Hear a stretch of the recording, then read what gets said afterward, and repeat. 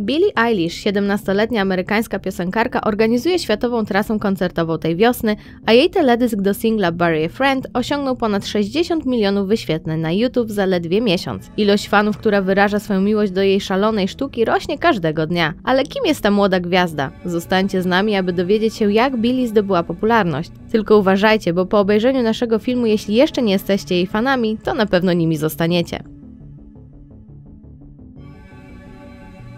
Jej fascynujący styl i twórczość łącząca fan pop oraz muzykę alternatywną sprawiają, że Eilish jest jedyna w swoim rodzaju. Właściwie niedawno weszła do branży piosenką Ocean Eyes i od razu spotkała się z wielkim uznaniem.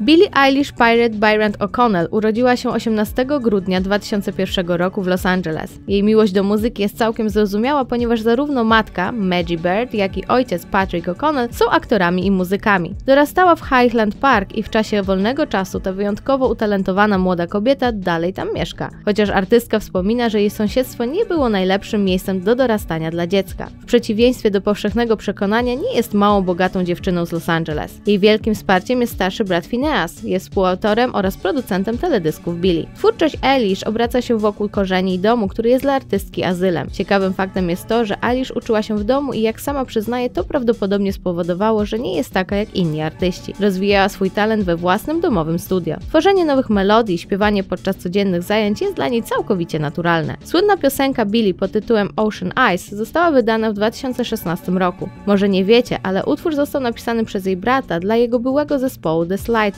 Single stał się popularny zdobywając ponad 80 milionów wyświetleń na YouTube i jeszcze więcej na Spotify. Pomimo ogromnego sukcesu, Eilish przyznaje, że bycie młodą piosenkarką nie jest takie proste, ponieważ większość ludzi po prostu nie traktuje jej piosenek poważnie. W wielu swoich utworach piosenkarka opisuje głębokie emocje i uczucia, takie jak miłość i nienawiść, a starsi słuchacze myślą, że ona nie może mieć o nich pojęcia. Jednak 17-letnia Billy wie, jak się przed tym bronić. Uważa, że jej młodość jest akurat jej zaletą, ponieważ wszystkie te uczucia są dla niej nowe, tak samo jak dla innych nastolatków, dlatego właśnie jej doświadczenia mogą być dla nich cenniejsze. Po tym jak stała się sławna, Billy wydała jeszcze kilka singli jak Bellyache i Bored, który dostał się na soundtrack do popularnego serialu 13 powodów. Jej debiutancka epka Don't Smile at Me stała się światowym hitem w 2017 roku, a po niej Billy wyruszyła w trzymiesięczną trasę koncertową. Podczas swoich koncertów Billy spotyka się zwykle z fanami twarzą w twarz. Jak sama mówi, gdy dorastała, nigdy nie spotkała żadnych swoich idoli, a tak jak każda inna dziewczyna była zakochana w Justinie Bieberze.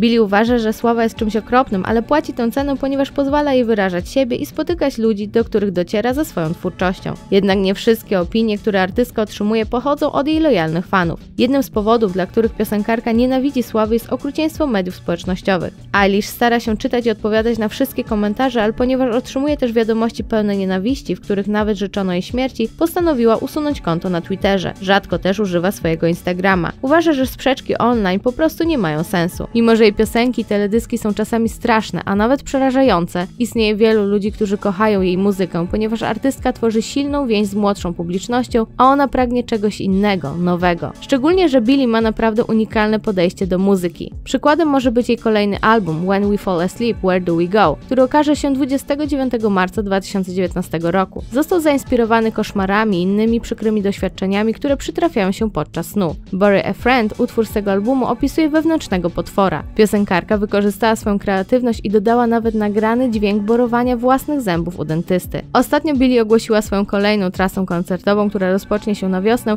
a w niektórych miastach bilety już się wyprzedały. Więc jeśli jesteście fanami jej muzyki, to pospieszcie się zanim będzie za późno.